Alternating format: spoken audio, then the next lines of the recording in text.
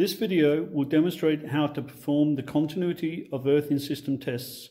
Device setting. To test the continuity of the earthing system, you need a low reading ohm meter, preferably one with a 3 ohm setting. You may need a trailing lead to reach from the switchboard to each earth location in the installation. Device setup. Prior to testing, check that the battery is okay by selecting the battery check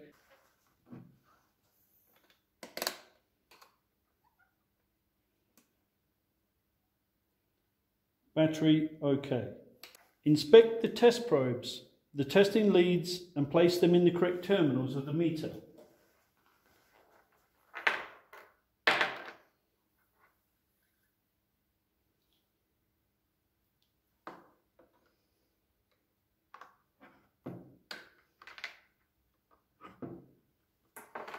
Select the 3 ohm scale and identify the scale on the meter.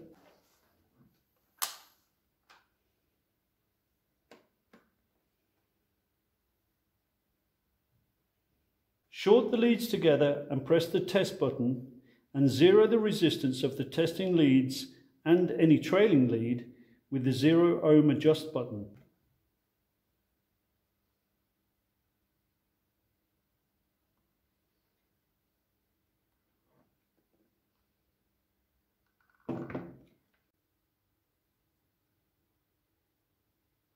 Measure a low value of resistance.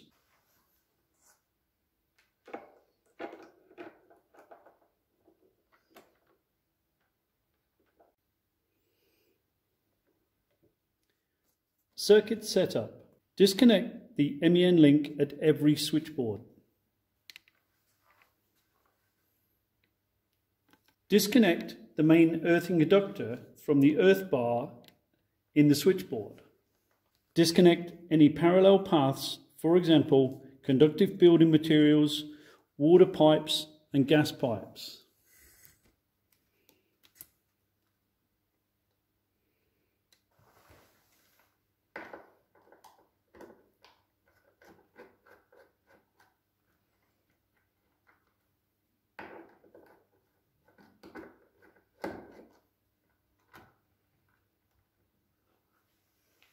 Continuity stroke resistance of the main earthing conductor test. To test the resistance of the main earthing conductor, place one probe on the disconnected main earthing conductor in the switchboard and place the other probe on the earth electrode. Press the test button and record the resistance value. The test result must be less than the maximum resistance of 0.5 ohms.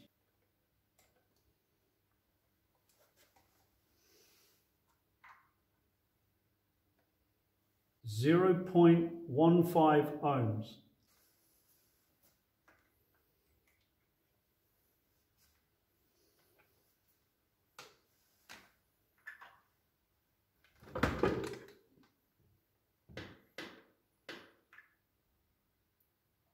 Approximately zero ohms.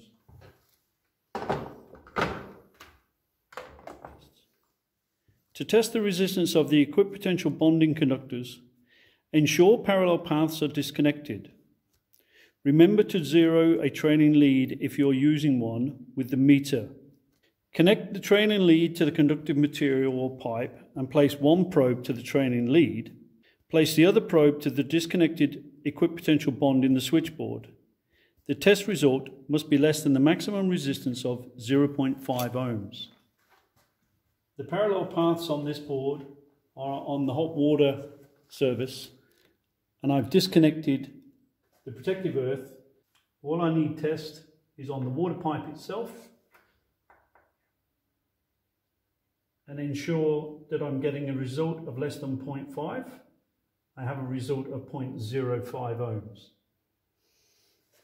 I then do the other equipotential bonds, which is the Rio.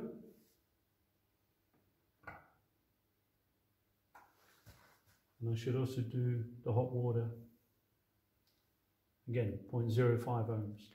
Continuity stroke resistance of protective earths may be conducted in two ways. Method 1 measures the earth resistance as an individual cable and may require a trailing lead.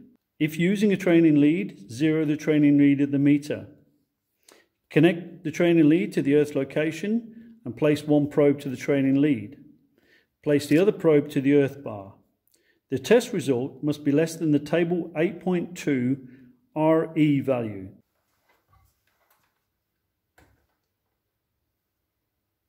Lighting circuit,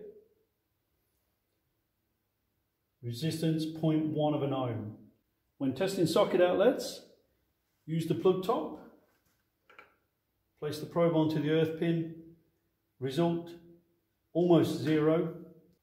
This GPO circuit power 1 has got two socket outlets. You must confirm the earth is present at each one of them. You go along confirming at each earth location inside the main switchboard has got a compliant earth.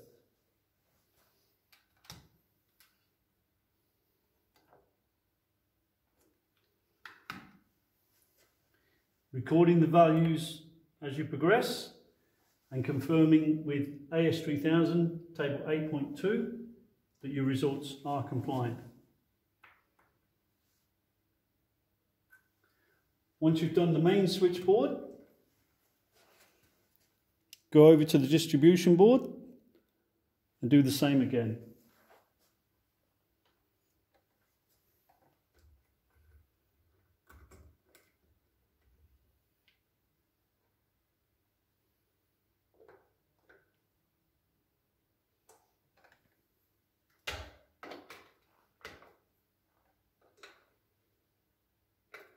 Remembering to do each earth location, regardless of how many points there are on the socket outlet. You are now ready to conduct insulation resistance testing